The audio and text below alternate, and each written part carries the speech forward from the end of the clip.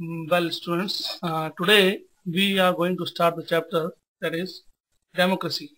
Okay, so you all know about democracy a little bit, but in this class we will try to understand the meaning of democracy, that what democracy is, from where the democracy comes.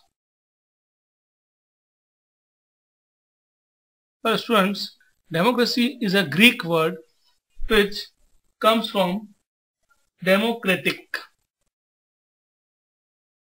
Demo and critic. It means it is formed from two word demo and critic. Demo means people okay? And critic means rule although you know that in a simple term if we talk then we can say democracy is what?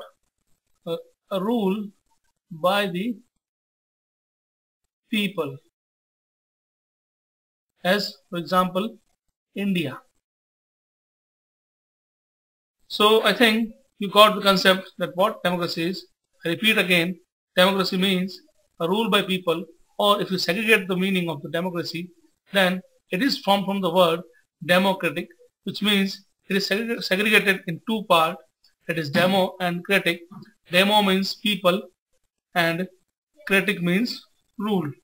Now we will talk about the features of democratic government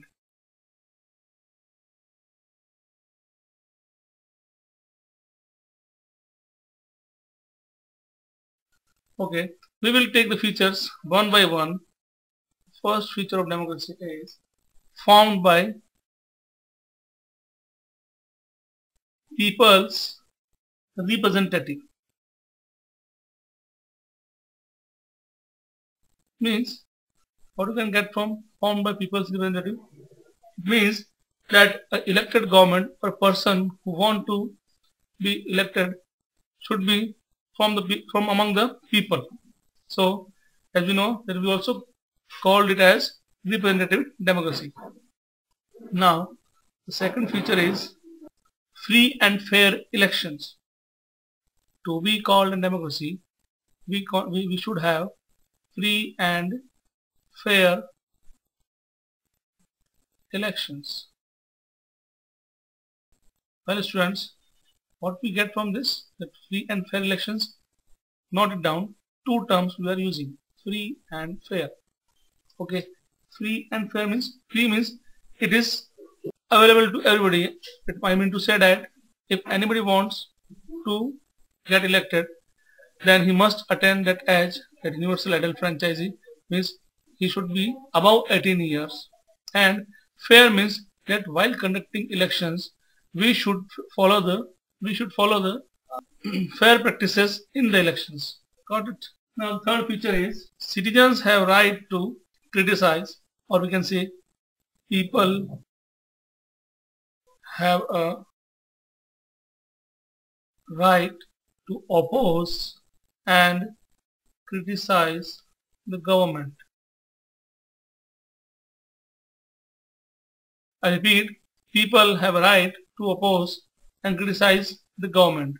Means here what we are providing, we are providing with that people should have right, so they have right to freedom. Means if any if there is any ruling party, then they can oppose the government if their policies are not in favor of the uh, welfare of the people, or they can criticize the government at any step, whether regarding policy policies or whatever else it is. Okay. Now people have a right to protest means previously we studied that we can oppose and criticize the government. Means we can call we can we can call we can uh, make their attention towards our ourselves.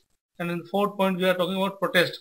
So if we are opposing government then we can do any protesting activities like uh, some kind of movement non-violent non-violent movement and strike may also so we are also having right to protest. We can protest against the government as uh, we quote an example from the recent uh, thing happened. This Anna Hazare go, went on uh, hunger strike for the Lokpal bill. As what stands Lokpal for? As it was for the against the corruption to remove the corruption from our democracy. Okay. So what what he was doing? He was just protesting the government against the corruption bill. Now this is the feature of a democratic government. Now we'll talk the feature of non-democratic non-democratic government.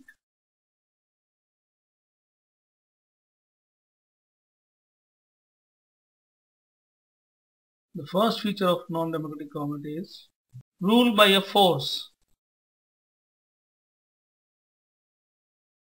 by a person or by a group. Yes, the first feature of non-democratic government means what it says rule by a force, by a person, by a group or by a group means where we can, where we can see that there is a no elected government, no representative government. The rule is like the rule is forcefully by uh, uh, one uh, by one individual. We can uh, we can put an example of Hitler, a dictator government, or by a group of people. Okay. Then second feature is no opposition is permitted.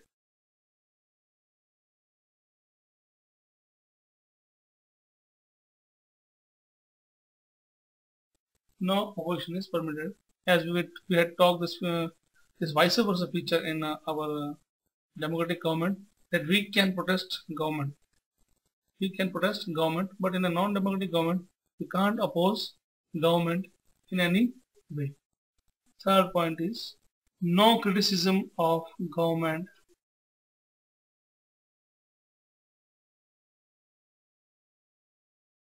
Is tolerated. Means if you want to criticize the government, criticize the government's policy, then it will be not tolerated, tolerated in a non-democratic government. Fourth point, citizens have no right. As in a democratic government that we know, citizens are provided with few uh, basic fundamental, fundamental rights. But in a non-democratic government, you can't find these fundamental rights, like for example, right to freedom, right to speech, whatever it is okay